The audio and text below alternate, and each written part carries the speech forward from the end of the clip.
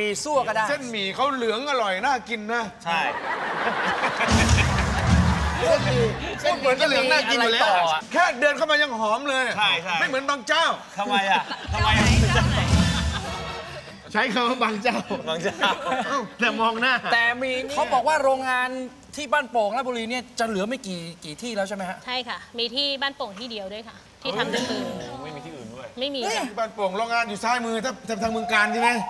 คนละที่ทำไมเล่าอะไรที่ไหนพูดถึงที่ไหน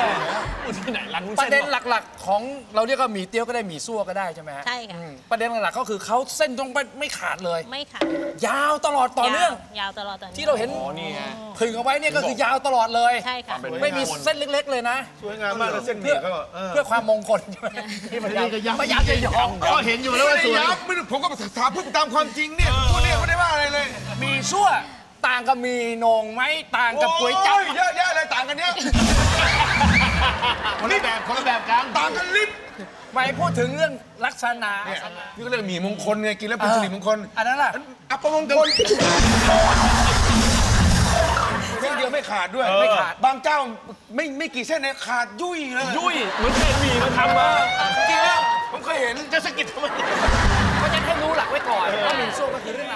ส่วนผสมเขาต่างกับพวกบะหมี่ยังไงไหมล่ะ อ่าอาจจะมีแตกต่าง ไข่มีไข่มีแป้ง อันนี้ไม่มีไข่ค่ะ อันนี้มีแต่แป้งอย่างเดียว คุณโหนงเนี่ยใช้ไข่สิบตันนะวันหนึงอะบะหมี่ถุงนึงเนี่ยเหรอเออไข่จิ้งจกอะ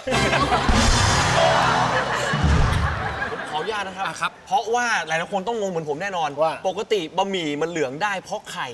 เอานี่มันเหลืองได้ยังไง อันนี้เราใช้สีผสมอาหาร อ๋อจากแป้งขาวแล้วก็มีใช้ใช้ใช้ใช้สี อันนี้สีผสมผสานกูสีทาบ้านไม่เอาไม่เอาไม่เอาไม่เอาไม่ได้ว่าอะไรอันนี้แป้งสาลีแต่ของกูปูนซีเมนต์พอใจมึงไงมั้งเขาก็ต้องมายั่วเราเราต้องอดทนเราต้องอดทนไม่เอาไม่เอาเราต้องอดทนอดทน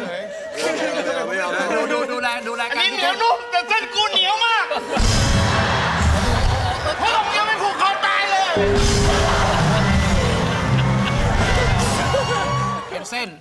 จากเส้นถึงจะมาขึ้นเป็นเส้นเล็กลง ใช่ค่ะ เล็กลงแล้วมาเป็นอันนี้ ใช่ค่ะ แล้วก็ไม่พอมียืดอีก ยืดอีกค่ะ อันนี้มันมันอยู่ได้เดี๋ยวมันนาต้องนะกี่ขอบยู่วน เนนขอ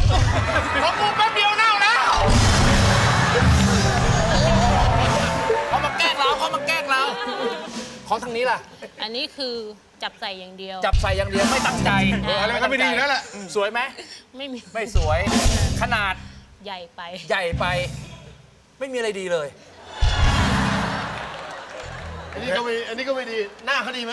ไม่ดีเ